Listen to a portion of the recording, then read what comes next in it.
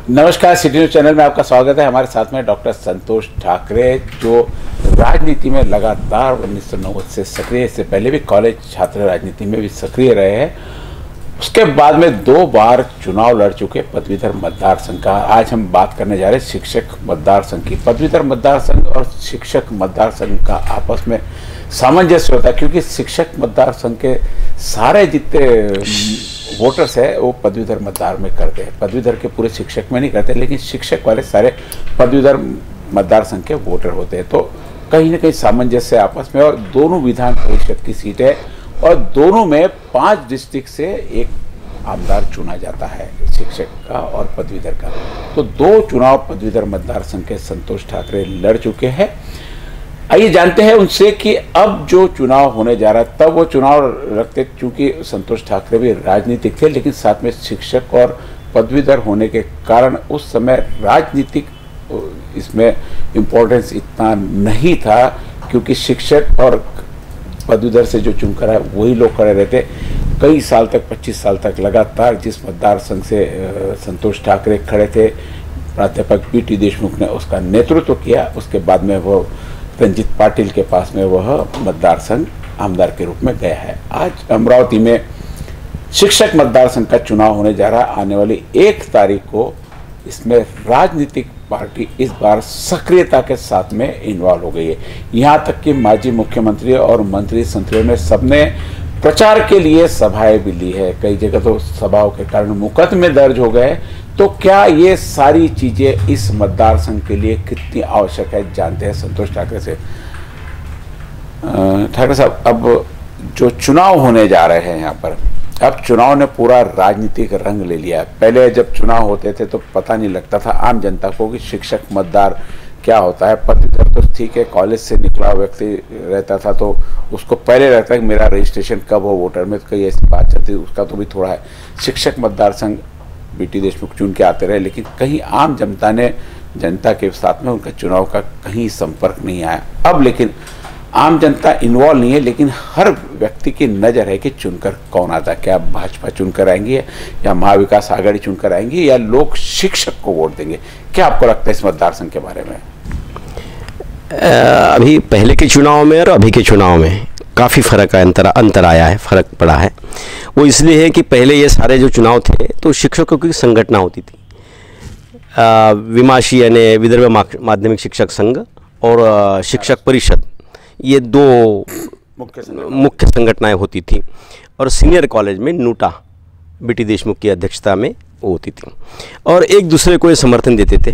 BT भाऊ चुनाव लड़ते थे पदवीधर में से तो उनको विमाशी जो जिसका नेतृत्व खोटरे साहब करते थे वसंत राव जी खोटरे वो भी दो बार आमदार रह चुके हैं। एम एल रह चुके हैं शिक्षक मतदार संघ से। और बीटी भाऊ पाँच बार रह चुके हैं यानी तीस साल का लगभग उनका कार्यकाल रहा है। तो तभी लोगों को पता ही नहीं चलता था क्योंकि शिक्षकों की संगठना होती थी। और वो संगठना के संगठनात्मक ढांचे का उपयोग करके ही चुनाव लड़ते थे। और वो इतना सिस्टमेटिक होता था कि ज़िले के एक अध्यक्ष को अगर बता दिए कि अपना कैंडिडेट उम्मीदवार ये है तो वो अपने तालुका लेवल के सारे, फिर यूनिट लेवल के, यानी स्कूल या कॉलेज लेवल के सारे अध्यक्ष को बुला के तो वो मैसेज देता था। तो वो अपने बिल्कुल प्रामाणिकता से काम करते जो जो विचारधारा से जुड़ा है, उसी विचारधारा से काम करते थे। और वोटर्स बहुत कम होते थे। पहले पहले 1200 1500 में भी लोग जीत के आए। मैंने तो 2400 2500 वोटों से बीटी देश यानी वोट मिले 2400 2500 वोट मिले और उसमें चुन के आए बीटी भाऊ, वो भी मैंने देखा है। तो बाकी लोगों को लगा ये तो बड़ा अच्छा यानी सस्ता रास्ता है, बिल्कुल एकदम, बिल्कुल आसान रास्ता है कि 250 वोट अगर अपन ने ले लिए तो इधर से अपन जीत के आएँगे। क्योंकि सबने जनरल जो अपनी कॉन्स्टिट्यूशन होती है विधानसभा की तो उसमें उन्होंने प्रयास करके देखा जब उनके ध्यान में आया कि यहाँ नहीं अपनी दाल गलती तो फिर भाई ये रास्ता अच्छा है करके जैसा कि बैकडोर एंट्री वाला ही बोल सकेंगे उसको। तो इसमें आने लगे और अपना दल बल आ, अर्थ का प्रयोग करके भी अपनी इतनी जीत सकते ऐसी धारणाएँ उनकी हो गई। तो इसके कारण जिनके पास भी थोड़ा अभी तो करोड़ों में बात कर रहे हैं। मेरे तीन चार उम्मीदवार जो मुझे मिलने आए तो बोले हम पाँच करोड़ खर्चा करेंगे हम सात करोड़ खर्चा करेंगे। तो मैंने कहा इतना खर्चा करो दो हेलीकॉप्टर ले लो एक भाजपा को दे दो एक कांग्रेस को दे दो अघाड़ी को। दोनों नेता घूमते रहेंगे तुमको वैसे ही एमएलसी बना देंगे इतना खर्चा क्यों करना? कितने लोग एमएलसी तो एक ही बनेगा ना? हाँ। खर्चा तो सबको करना एमएलसी एक ही बनेगा। पहले ऐसे चुनाव होते तो क्या उसके बाद में कुछ कानून में परिवर्तन संविधान में परिवर्तन? नहीं नहीं कोई परिवर्तन नहीं आया। कि हमारे संविधान करता क्यों आया? हमारे संविधानकर्ताओं ने भी न पढ़ा लिखा आदमी भी राष्ट्रपति का चुनाव लड़ सकता है। न पढ़ा पढ़ा लिखा आदमी भी अंगठे बहादुर, अंगूठा बहादुर जो है, वो एमपी का चुनाव लड़ सकता है, एमएलए का चुनाव लड़ सकता है। वैसा हर चुनाव चुनाव के लिए कोई शैक्षणिक अर्हता नहीं है। कोई पढ़ाई की सीमा दी नहीं है परिषद के लिए जा रहा है, ऐसा माना जाता कि विधान परिषद एक समझदार लोगों की, पढ़े लिखे लोगों की संस्था है, क्योंकि अ, विधान सभा में तो जो जाते वो अपर हाउस बोलते हैं उसको। आम आम लोगों में से जाते जहाँ उसके लिए पढ़ाई क्राइटेरिया नहीं है समझदारी इसमें तो लेकिन आपको सब क्षेत्र दिए है पदवीधर मतदार का क्षेत्र दिया है शिक्षक का क्षेत्र दिया है स्वराज संस्था का क्षेत्र दिया है। इसमें तो एक स्पेशल व्यक्ति ही जाता ना आम व्यक्ति कैसे जाएगा इसमें? और स्पेशल व्यक्ति पूरी की पूरी ये संविधानकर्ताओं ने ये सारे हाउस बनाते वक्त की रिप्रेजेंटेशन जो है समाज के हर वर्ग का होना चाहिए प्रतिनिधित्व। चाहे स्थानिक स्वराज्य संस्था का होना चाहिए पदवीधरों का होना चाहिए शिक्षकों का होना चाहिए। तो ये ध्यान में रखते हुए या फिर कुछ लोगों को लगे विधानसभा में कि समाज के अच्छे अच्छे लोग हैं साहित्य के क्षेत्र में हैं समाज सेवा के क्षेत्र में हैं उद्यमी हैं तो भाई उनका भी हाउस में होना चाहिए। तो वो विधानसभा में से भी विधान परिषद में कुछ लोग जैसे कि अभी महामहिम राज्यपाल के पास बारह लोगों की लिस्ट पड़ी हुई है जिसको अभी तक उन्होंने रखी है अपने पास में। हाँ हामी नहीं भरी है। तो संविधानकर्ताओं ने बनाते वक्त अपने संविधान को ये ध्यान में रखा है कि हर एक क्षेत्र से कोई भी वंचित ना रहे। सारे क्षेत्रों का प्रतिनिधित्व होना चाहिए। सबकी आवाज़ वहाँ उठनी चाहिए। सब लोग होना चाहिए। कोई जनरल चुनाव लड़ना नहीं चाहेंगे। पर उनका ज्ञान इतना होगा उनका अनुभव इतना होगा। आवाज़ होनी चाहिए यानी क्या रहता एक क्षेत्रीय नेतृत्व रहता है। एक वार्ड का नेतृत्व रहता है। शहर का नेतृत्व देता है, ऐसे शिक्षकों का नेतृत्व है। भाई, शिक्षकों की आवाज़ उठनी चाहिए। यदि हमारे अमरावती से कोई खासदार जाता है तो उसको बोलते हैं कि भाई, अमरावती की आवाज़ उठनी चाहिए। लेकिन यहाँ पे यदि आप दूसरा उम्मीदवार लाद दोगे दूसरे क्षेत्र का तो उनकी आवाज़ कैसे उठेगी? नहीं उठेगी। सारा सार गलत है। जो एक कानूनन फ़ायदा दिया हुआ है, उसका गैर फ़ायदा ले रहे हैं लोग। इसके लिए कभी किसी ने प्रयास नहीं किया कि इसके लिए कहीं बंदिश होनी चाहिए कि भाई शिक्षक मतदान इस इसमें तो तो नहीं नहीं वो तो बिल लाना पड़ेगा तो संविधान में सुधार करना पड़ेगा। संविधान के सुधार की बात आएगी यहाँ पे क्योंकि ये संविधान ने बनाया हुआ है हाउसेस ये यानी लोग नहीं चाहते कि सरकारें नहीं चाहती या राजनीतिक पार्टी नहीं चाहती ऐसे संविधान बनाना। नहीं ऐसा नहीं है। उन्होंने किसी ने ध्यान नहीं दिया। एक छोटी बात समझ के छोड़ दिए उन्होंने। और क्या होता था नहीं नहीं दूसरा क्या ये राजनीतिक पार्टियों के भी हिसाब से अच्छा हो गया जिसको विधानसभा में टिकट नहीं दे पाते तो उसको बोलते जैसे कि धांडे साहब ने प्रयास किया था चांदू रेलवे से टिकट नहीं मिला तो ठीक है शिक्षक में लड़ लो भाई हम समर्थन दे देते। आमदार की टिकट दे दी। दे दी। अपने पार्टी ने अपना कर्तव्य पूरा किया। करते हुए पूरा किया है बस यानी अपने कार्यकर्ताओं को अपने कुछ नेताओं को जो जिनको वो समाधान, जिनका समाधान नहीं कर सकते, जिनको जनरल चुनाव में नहीं उतार पाते, उन लोगों के लिए फिर ऐसा है। तो ऐसे में जहाँ अभी नेतृत्व करना है, निश्चित रूप से शिक्षक है शिक्षक अपनी शिक्षा का कार्य करेगा, नेतृत्व कार्य करे ये भी तो एक होता ना, यदि नेतृत्व दूसरों को दिया, शिक्षा, शिक्षक किया जाए तो हो सकता है दूसरा आमदार जो आग में जल रहा है तो उसके जो जो दहाकता है, चटके जो है तो उसे वही महसूस करेगा ना। शिक्षकों की समस्या दिन रात वो जहाँ काम करता है, वही समझ पाएगा ना कि मेरी क्या समस्या है, मेरा क्या हाल है, क्या सुधार होना चाहिए, कौन सी आवाज़ उठाना चाहिए, प्रॉब्लम्स कैसे कैसे बढ़ रहे हैं। सरकार ध्यान नहीं दे रही है, संस्था चालक ध्यान नहीं दे रहे हैं। संस्था चालक तो निर्भर रहते, एक बार उन्होंने स्कूल खोल लिए, अपॉइंटमेंट कर दिए कि हो गया उनका काम। अभी तो संस्था चालक भी सारे इसमें चुनाव में लड़ गए मैं आज ही वसंत राव जी मालदूर से बात कर रहा था तो उन्होंने तो स्पष्ट किया कि संस्था चालक से खुद विवाद है शिक्षकों का संस्था चालक से का, इनका हमेशा विवाद चलता है।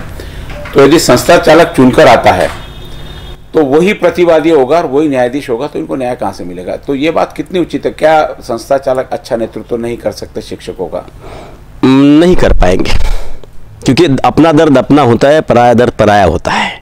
शिक्षक का जो दर्द होगा वो शिक्षा संस्था चालक कभी समझ नहीं पाएँगे। क्या नुकसान होगा यदि शिक्षकों का यदि शिक्षक चुनकर नहीं आता है? तो सीधी सीधी बात आपसे पूछे जाए। तो उनकी समस्याएँ दबा दी जाएँगी। दबा दी जाएँगी। समस्याओं का निराकरण तो जो चुनकर आएँगे आमदार उससे भी क्या संभव हो सकता है करके? आ, क्योंकि ये सौ प्रतिशत नहीं मुख्य में पूरे पर कम से कम उसको मालूम है कि पाँच साल के बाद मुझे उनके लोगों के सामने जाना है तो मैंने ये करना ज़रूरी है करके। अगर मैं नहीं आवाज़ उठाता नहीं करता क्योंकि कई सारे मसले होते हैं कि जो सरकार नहीं हल का हल, हल कर पाती। अभी जो सरकार ने जो वादे पहले किए थे जो सरकार में अभी महाविकास आघाड़ी की सरकार है उन्होंने जो जो वादे किए थे कहाँ पूरे कर पा रही है वो? चाहे कारण कुछ भी पूरे नहीं हो नहीं कर पाती। क्योंकि सरकार भी पूरी नहीं कर पाती उसको लिमिटेशंस चुनाव आते हैं। वादे कर लेना कि भाई ठीक है जैसा कि नितिन जी गडकरी ने कहा था कि हमको लगा कि हम सत्ता में आएँगे ही नहीं चुन के नहीं आएँगे इसलिए हमने सारे वादे कर दिए। अब ये पूरे करना कठिन है बड़े प्रामाणिक नेता है वो बोल दिया उन्होंने मन की बात सच सच में बोल दिए तो ऐसे सारे के लिए होते हैं। लुभावने वादे करना लोगों को लुभाने के लिए अट्रैक्ट करने के लिए बोलना कि हम ऐसा करेंगे आपका ऐसा करेंगे। पर कुछ बातें ऐसी है जो बगैर पैसे की की जा सकती है जिसके कारण सुविधा हो सकती है शिक्षकों का सर ऊँचा रहेगा। इस तरह से कुछ कर सकते हैं जिसमें फाइनेंशियल नहीं आता है। बर्डन को पैसे का प्रेशर नहीं आएगा ऐसे काम। हाँ ऐसे काम भी कर सकते हैं ना ऐसे भी काम हो सकते हैं। अच्छी व्यवस्था होना चाहिए टीचिंग की अच्छी व्यवस्था डेस्क बेंचेस अच्छे होना चाहिए गवर्नमेंट की भी स्कूल है। नहीं नहीं नहीं उसके लिए जो पहले ग्रांट्स मिलती थी कुछ साठ टक्के आठ टक्के दस टक्के बारह टक्के पहले। तो हाँ हाँ। तो अभी वो नहीं मिल रही क्योंकि उन्होंने नॉन ग्रांट खोल दिए नॉन ग्रांट खोल दी इसलिए तो वो व्यवस्था नहीं हो रही अभी। जैसा कि ये राइट टू एजुकेशन है तो ये बिल पास हुआ है तो हमने श्रीकांत देशपांडे के साथ में 2008 के चुनाव में हमने हमारे मैनिफेस्टो में दिया था। कि हमारे घटना में दिया हुआ है कि 14 साल के बच्चे को निःशुल्क पढ़ाई होनी चाहिए सारा व्यवस्था गवर्नमेंट ने करना चाहिए। आ, आज भी है। राइट टू एजुकेशन पास भी किया है प्रतिभाताई जी ने जब वो महामहिम राष्ट्रपति थी अपने देश की। पर वो कहाँ इम्प्लीमेंट हो रहा है? गवर्नमेंट अपना बर्डन जो है फाइनेंशियल वो संस्था को डाल रही है।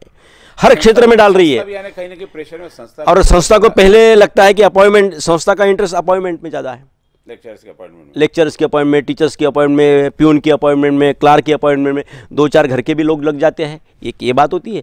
और चार दो बाहर के लग के भी अपनी भी एक, एक दुकानदारी चल जाती है। दुकानदारी चल जाती है एक दो पीढ़ी की यानी निश्चिंतता हो जाती है।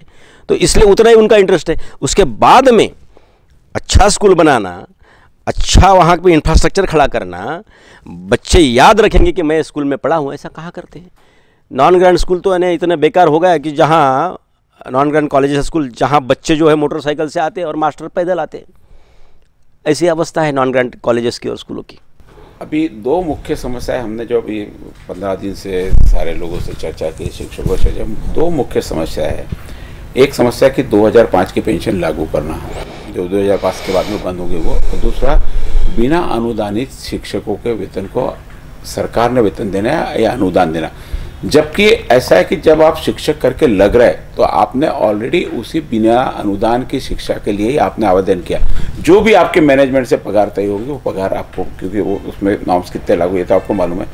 ये दो मांगे, हर व्यक्ति, जितने भी सत्ताईस लोग हैं, सबके सब बोले कि हम क्या आपको लगता है कि किसी प्रकार से मैं क्यों आपसे इसलिए पूछ रहा कि आप अभी उम्मीदवार नहीं हो, किसी पार्टी से नहीं हो, आप निष्पक्ष रूप से बता सकें, क्या सरकार ये कर सकती है?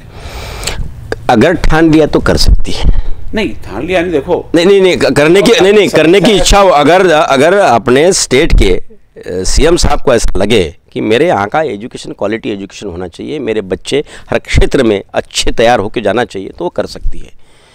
फाइनेंशियल बर्डन आएगा व्यवस्था करो दूसरे खर्चे कम करो। एजुकेशन का बजट बढ़ाने की हाँ तो ह- हमारा इतना छोटा बजट है वन पॉइंट समथिंग बजट है हमारा। आप स्वीडन में देखोगे तो तेरह परसेंट है उनका। क्रॉस जो इनकम होता है वहाँ का उससे तेरह परसेंट वो शिक्षा के ऊपर खर्चा करते हैं। आ, कई ऐसे सारे देश है अभी तो रिकलेक्ट नहीं कर पाऊँगा मैं कि जहाँ शिक्षा का स्तर इतना ऊँचा है और शिक्षा के ऊपर ही खर्च करते हैं। यहाँ तक कि शिक्षकों को इतनी सम्मान दिया जाता है कि जज भी शिक्षक के ऊपर अगर कोई मुकदमा चल रहा है तो जज शिक्षक अगर आता है कोर्ट में तो जज उठ के खड़ा होता है। इतना सम्मान मिलता है। और प्राथमिक नहीं नहीं और और उल्टा हो गया। हायर एजुकेशन के टीचर को सैलरी इतनी हो गई है कि हमारी आँखें अंदर की भी ज़रूरत नहीं है। हाँ और इधर प्राथमिक शिक्षा जहाँ ज़्यादा काम करना पड़ता है ज़्यादा मेहनत करते हैं बेसिक लेवल पे जहाँ शिक्षा पे खर्चा करना चाहिए। मैं ये कहूँगा सारे चिल्लाएँगे मेरे नाम से आप अगर हायर एजुकेशन पे थोड़ा कम खर्चा करके क्योंकि बच्चे सेल्फ स्टडी कर सकते हैं। आप अगर प्राथमिक शिक्षा पे ध्यान दें मिडिल स्कूल की शिक्षा पे ध्यान दें हाई स्कूल की शिक्षा पे ध्यान दें तो अच्छा होगा।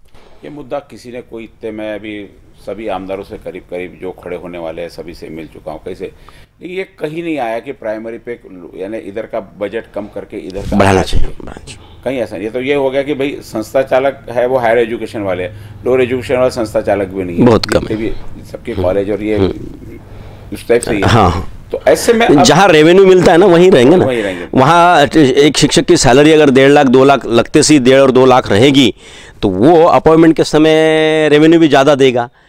इधर तीस और बत्तीस हज़ार सैलरी रहेंगी तो वो देते समय वो भी कम देगा दो तीन लाख देगा। इधर पचास पचपन लाख साठ लाख देते हैं लोग हायर एजुकेशन में। तो इसलिए सभी का ध्यान हायर एजुकेशन के ऊपर है। हायर एजुकेशन के ऊपर अपॉइंटमेंट तक सीमित है। उसके बाद में क्वालिटी एजुकेशन पे बड़े बड़े दुख से मैं कह रहा हूँ क्वालिटी एजुकेशन पे कोई ध्यान नहीं दे रहा है।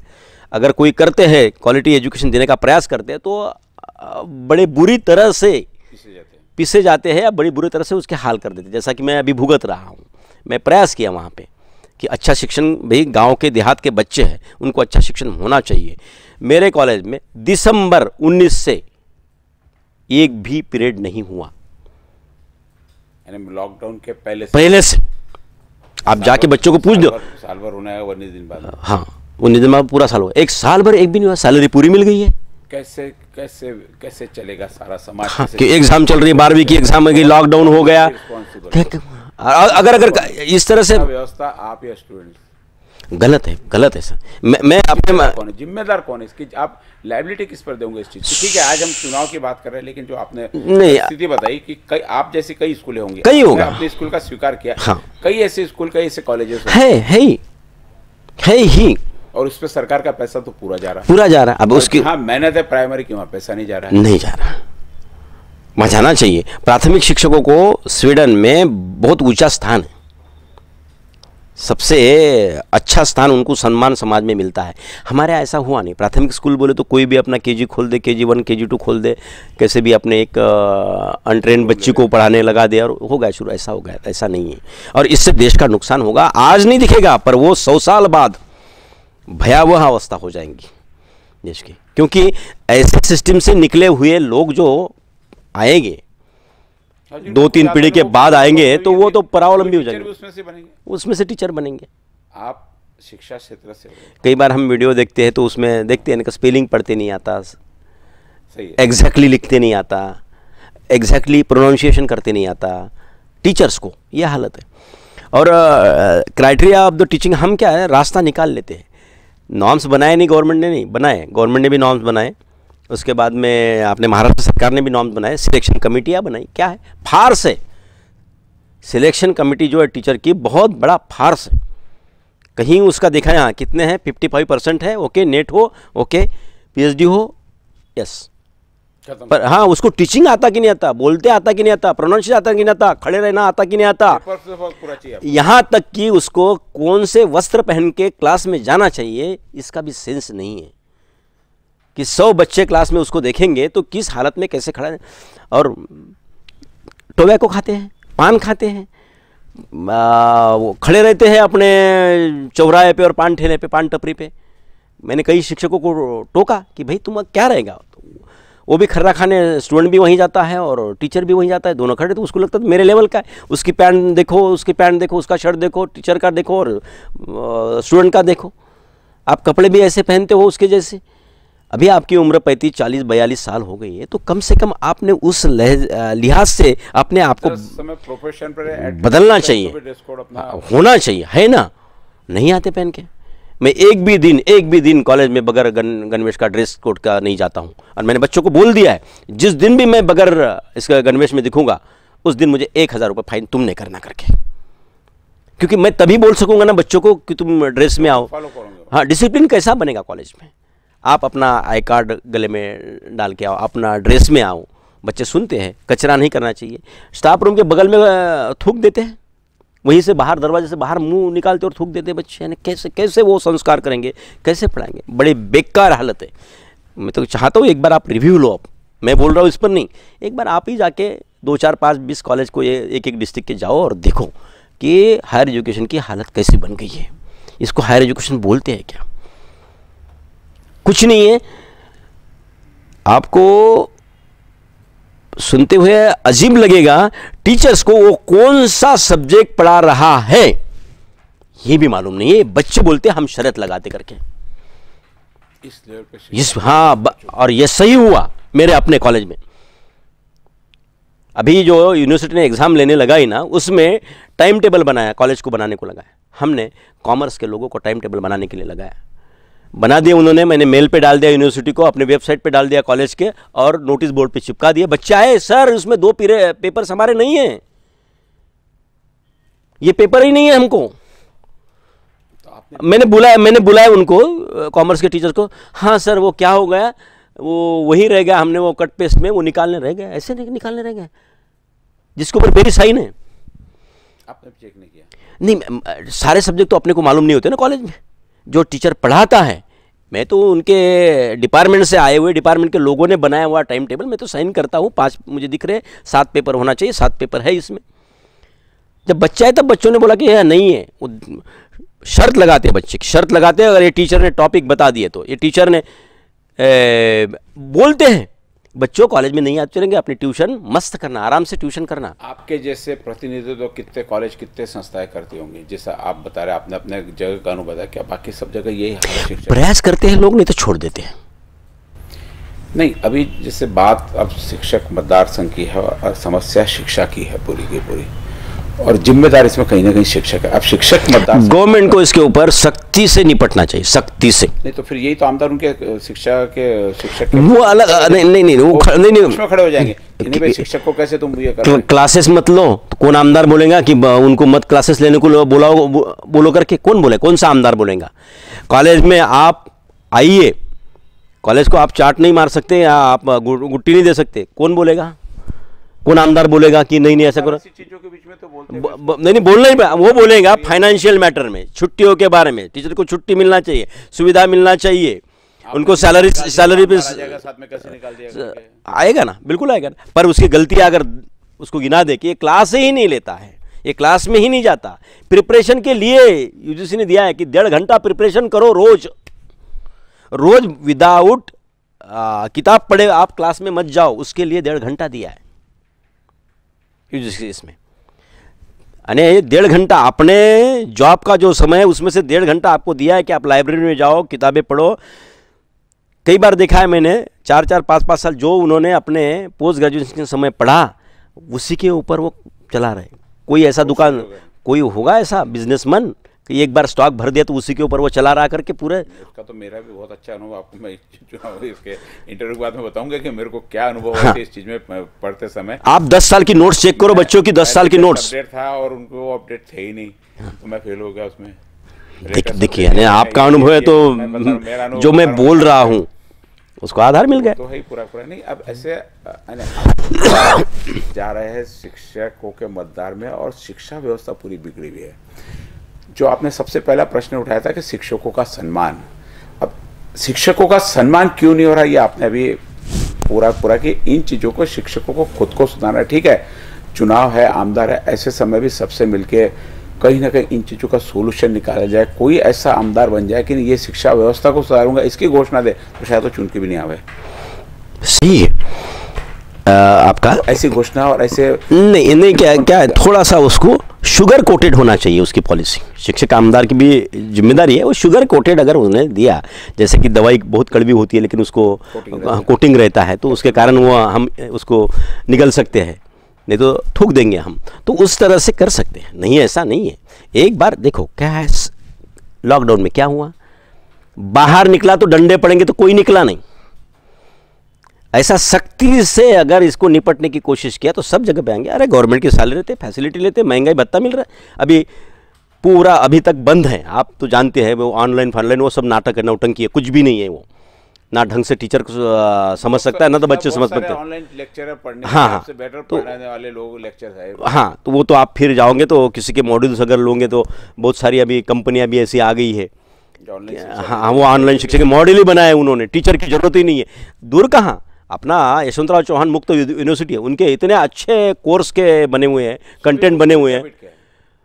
तो उसको अगर पढ़ ले घर पे तो आप बिल्कुल आसानी से, ये तो भी टीचर कन्फ्यूज़न कर देगा तुम्हारा, पर वो किताब अगर यशवंतराव चौहान यूनिवर्सिटी को पढ़ोगे ना तो मस्त आप आराम से फ़र्स्ट क्लास में पास हो जाओगे। तो इतने अच्छे बना सकते हैं।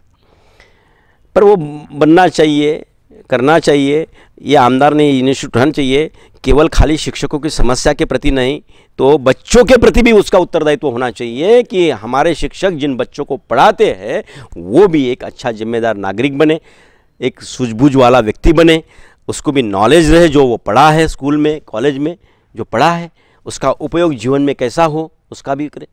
और दूसरा क्या हो गया कि शिक्ष, बच्चों की भी शिक्षा के प्रति उदासीनता बढ़ गई है हायर एजुकेशन में। क्योंकि जॉब करने के बाद उनको नौकरी मिलती नहीं ग्रेजुएट होने के बाद पोस्ट ग्रेजुएट होने के बाद उनको जॉब मिलेगा इसकी कोई गारंटी नहीं है। गारंटी नहीं है, इसलिए उनको लगता है कि मेरा बड़ा भाई है, तीन साल से एम ए होकर पढ़ा हुआ है एम एस सी होकर पढ़ा हुआ है, उसको कोई जॉब नहीं मिल रहा।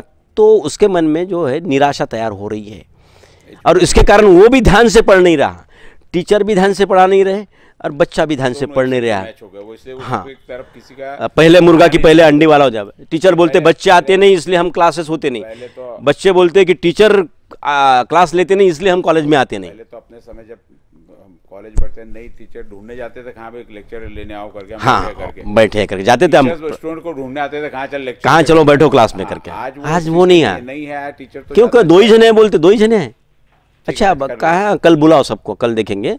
आज क्योंकि अपना टॉपिक है मैं अभी नया टॉपिक शुरू करने जाऊँ। अकेला भी क्लास में रहा तो मुझे पढ़ाया गया। मैंने केशर भाई की बात कर तो अकेला उस टीचर को प्रणाम। अकेला आज भी मुझे पता बिल्कुल वो वो टीचर है। फिर भी मुझे पढ़ा वो बॉर्न टीचर है जो एक बच्चे को लेके क्लास में बैठा है। समझता तो आप घर पे जाके पूछ सकते थे ऐसी उस समय की अटैचमेंट थी अटैचमेंट थी अभी दूसरा क्या दूसरा हो गया अप डाउन का मामला। ये वहाँ रुकते ही नहीं है। उस गाँव के प्रति अटैचमेंट नहीं, उस बच्चों के प्रति अटैचमेंट नहीं सोशल कहीं मिक्सिंग ही नहीं उनका और शिक्षकों का। वो डिसअपेयर हो जाते हैं। चार घंटे कॉलेज में रुके, उसके बाद में उनको उनका टीचर दिखता नहीं। हमको दिखते थे गाँव में फ़ंक्शन में। हम पाँव छूते थे। और बड़े नहीं नहीं। आज भी निकले तो आदर से आदर आदर से आज हम झुकते हैं उनके सामने। ना मैंने कल मालदूर सर का इंटरव्यू लिया मालदूरे सर ने मुझे पढ़ाया हुआ है। अच्छा अच्छा। गया तो मैं तो कहीं पे और ठीक है अभी मजबूरी है मैं आपके साथ में बैठूँ लेकिन साथ में मैंने नहीं बैठना चाहिए। मुझे पढ़ाया उन्होंने इट्स योर गुडनेस। ये आपका अच्छापन है कि आपने ये सोचते हो। नहीं और मुझे मैं जानता हूँ उस समय कौन कौन मुझे पढ़ाने वाले थे। सब लोग कल फिर चर्चा हुई तो सारे लोग पुराने जितने सारे यहाँ नाम याद आएँगे। किसका था कौन नहीं रहा कौन रहा सारे सारे सब चीज़ों की डिस्कशन होगी पूरे। अब ठीक है आखिरी में बात है कि चलो आप चुनाव नहीं लड़ रहे आप किसी पार्टी है समझो आपको चुनाव लड़ना पड़ता तो आप मतदारों को क्या वादे करते हैं? मतदार के साथ में। मैं ये चाह रहा हूँ कि आप उस शिक्षक उम्मीदवार से क्या चाहते हैं जो चुन के आएगा? आपके मुँह से कि आप क्या वादे करते हैं कि मैं ये करूँगा शिक्षा में मतदार में आने के बाद? एक से एक, आप इतना फ्रीली बोल सकते हैं आपको अभी किसी का बैंडिंग नहीं है। नहीं। कोई वोट मांगना मा, मांगना नहीं है। वोट मांगना है तो आपको कुछ चीज़ें हाथ में रख के बोलना पड़े आप फ्रीली बोल सकते हैं अभी कि क्या हो सकता है। देखो हम तभी गवर्नमेंट से अपनी मांगे मान्य करवा सकते हैं जब हम शिक्षक करके अपना कर्तव्य निभा सकते हैं। हाँ हम अगर ईमानदारी से क्लासेस लेंगे, हम अगर वहीं रुकेंगे, जिस गाँव में हमारी नौकरी है, वहाँ रुकेंगे, वहाँ समय देंगे, गाँव के लोगों के लिए भी और गाँव के बच्चों के लिए भी, वो देना पड़ेगा। आप तो ऐसे है कि अप डाउन में तो ये होता है कि चार बजे से भागने की उनको घंटिया, घंटियाँ बजने शुरू हो जाती है, बस मिलेगी कि नहीं, गाड़ी मिलेगी। अभी सबके पास, देखिए जो ग्रांटेड है नॉन ग्रांटेड है वो मर रहे हैं। जो ग्रांटेड है मज़ा मार रहे हैं। ऐसा क्यों हो रहा है? पक्ष में देखिए लोग पचास पचास साठ साठ आज लोग नागपुर से अप डाउन करते हैं मलकापुर से अप डाउन करते हैं। आप सोचो।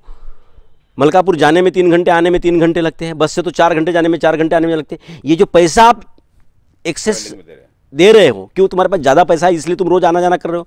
कार से आ रहे हैं बाइक से आ रहे हैं यानी रोज का एक लीटर पेट्रोल आप जला रहे हो क्योंकि आपके पास एक्सेस मनी आया है। आपके पास ज़रूरत से ज़्यादा पैसा आया है, इसलिए आप अमरावती में रह के नानगांव खंडेश्वर में, अमरावती में रह के, मोरशी में, अमरावती में रह के दरियापुर में, अमरावती में रह के आप वरुड में नौकरी करते हो।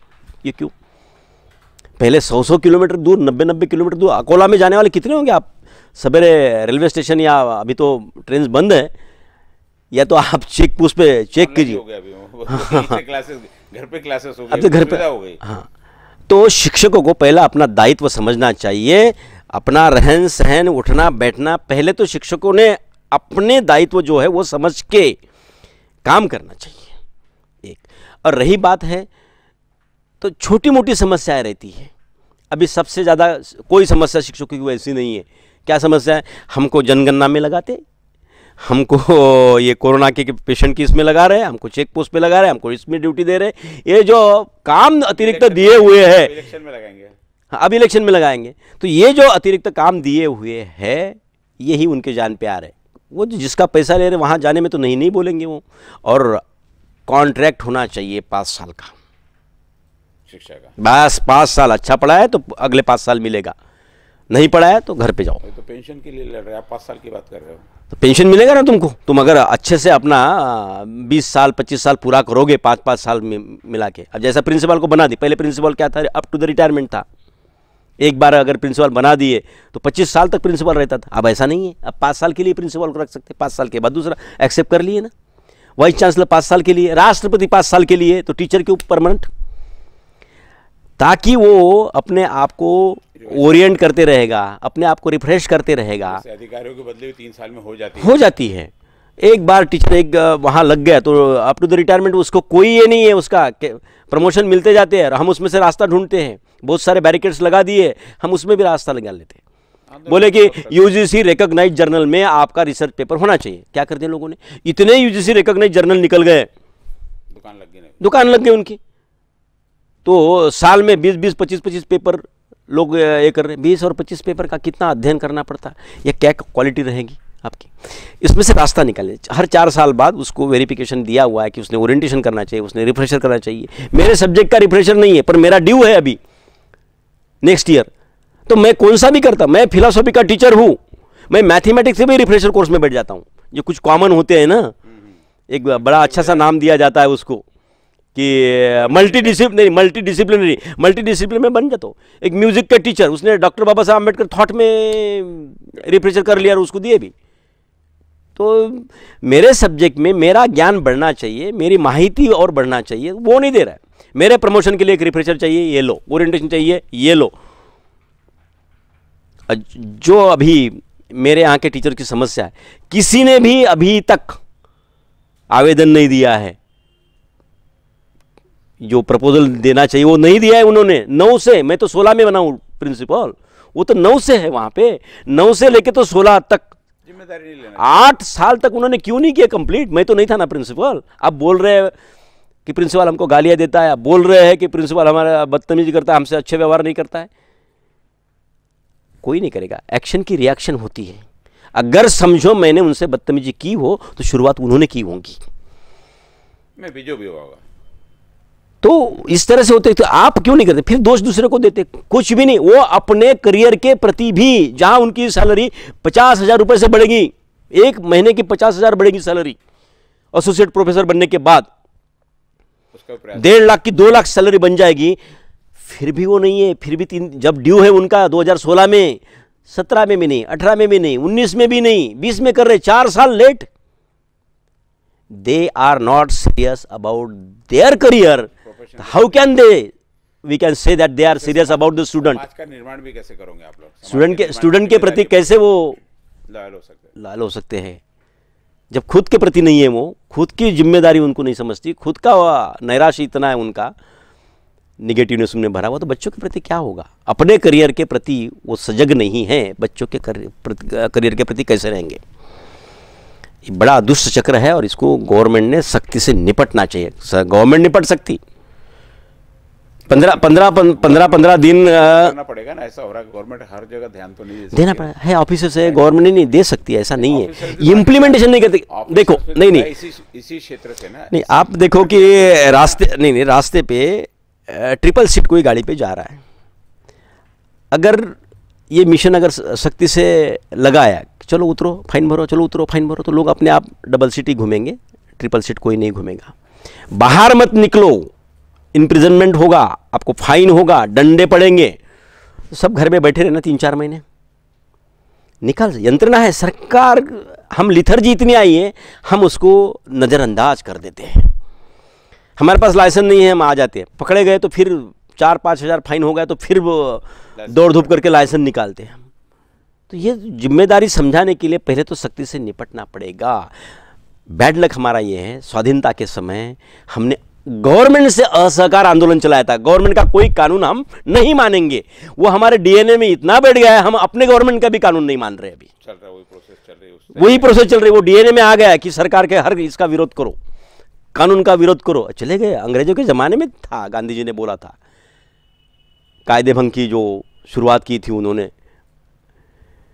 तो लोग अभी भी उसको कि नहीं गवर्नमेंट का जो है गांधी जी ने बताया भाई गवर्नमेंट का असहकार करो करके। अंग्रेज़ के गवर्नमेंट का बोला है अपने गवर्नमेंट का नहीं बोला है अपने कानून का नहीं बोला है। ये समझ आना चाहिए ये स्कूल और कॉलेजेस में कॉलेजेस में से बच्चों को बताना चाहिए। और क्या ये रहेगा आपके चुनाव यदि आप लड़ते तो और क्या क्या रहती थी आपकी भावना क्या क्या कर सकते थे आप? नहीं है कुछ अच्छे है। देखिए महिला को जैसा घर का काम काजी जो महिला है उसे घर का भी पूरा काम करना पड़ता है और साथ में अपना ऑफ़िस का भी काम करता है। उसको काम से छुट्टी नहीं है। दोनों मियाँ बीबी अगर काम कर रहे हैं दोनों दोनों नो टीचर है समझो अभी टीचर के बारे में बात करें आप तो। तो घर पे आके चाय वो वाइफ ही बनाएगी हस्बैंड नहीं बनाएगा। नहीं, देखो इसमें तो आप जब आप जिस नहीं तो उनके लिए में जा रहे हो ये सारी चीज़ें हमारी यदि आप बोलते कि मैं मेरे मुझे घर का काम करना मुझे आप कम काम दो। ऐसा कैसे हो सकता नहीं ना मैं वही बोल रहा हूँ ना मैं कम काम दो ऐसा नहीं बोल रहा हूँ। मैं वो नहीं बोल रहा हूँ। तो उसका डबल बर्डन बढ़ जाता है। फिर बच्चे को जन्म देना है। तो एक माँ माँ के हिसाब से उनको जो है बच्चे का पालन पोषण जब तक बच्चा एक अ, उसका विकास एक दो तीन साल तक नहीं होता है तब तक उनको मैटरनिटी लीव देना चाहिए। पहले अभी छः महीने मैटरनिटी लीव सभी डिपार्टमेंट के लिए नहीं। की हो गई तो नहीं नहीं हर हर डिपार्टमेंट के मैं महिला महिला का मैं सोच रहा हूँ। आप क्या करते थे ऐसा पूछा इसलिए वो मैटरनिटी नहीं नहीं मैटरनिटी लो उनको एक साल तक होना चाहिए। अगर वो महिला चाहती है कि नहीं, मैं अपने तीन साल तक अपने बच्चे की देखभाल खुद करूँगी तो हाफ़ पे लीव देना चाहिए उसको।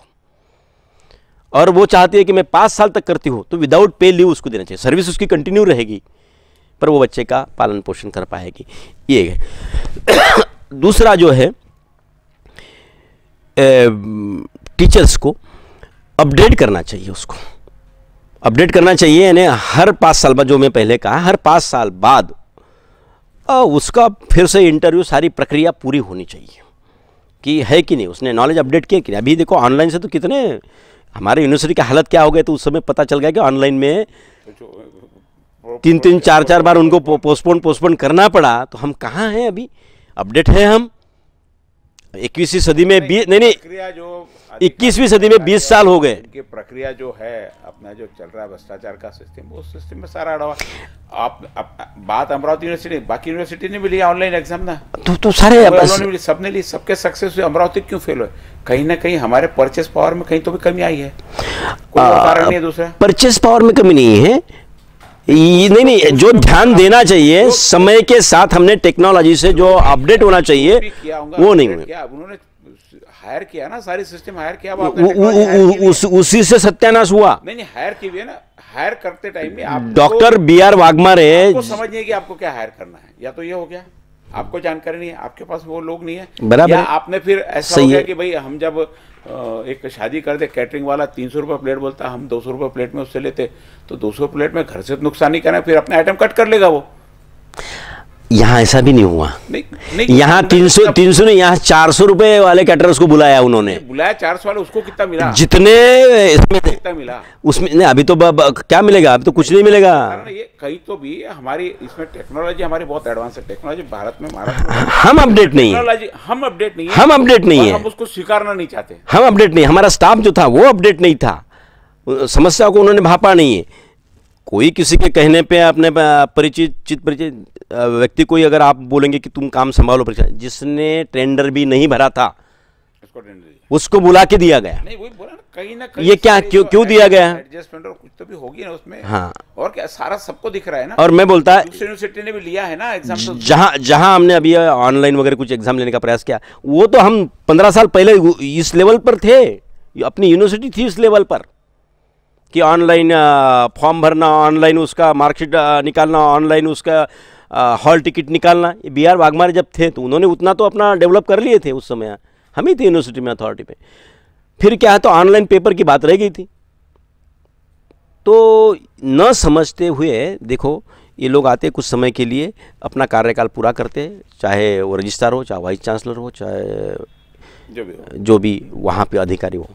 वो लॉन्ग टर्म का नहीं सोचते हैं। लॉन्ग टर्म का सोचना चाहिए। चाहे उनके कार्यकाल में न हो, लेकिन उसके पाँच साल बाद, दस साल बाद वो यूनिवर्सिटी अपडेट होगी, क्योंकि रिज़ल्ट इमीजिएट नहीं आएँगे उसके। ये ध्यान देना चाहिए। यानी विजन जिसको बोलते हैं, मैं भी छः यूनिवर्सिटी के लिए वाइस चांसलर के शॉर्ट लिस्ट हुआ था। वहाँ पूछते हैं विजन डॉक्यूमेंट तुम्हारा बताओ। तुम्हारी क्या विजन है यूनिवर्सिटी को अपडेट करने की? क्या करोगे?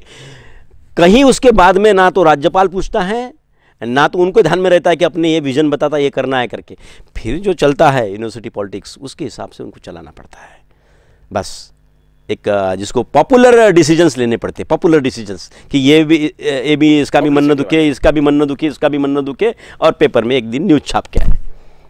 हमने सोलर इसका यूज़ कर लिया है, अब सारे यूनिवर्सिटी में सोलर पे चलेंगे बिजली का खर्चा कम हो जाएगा बस हो गया।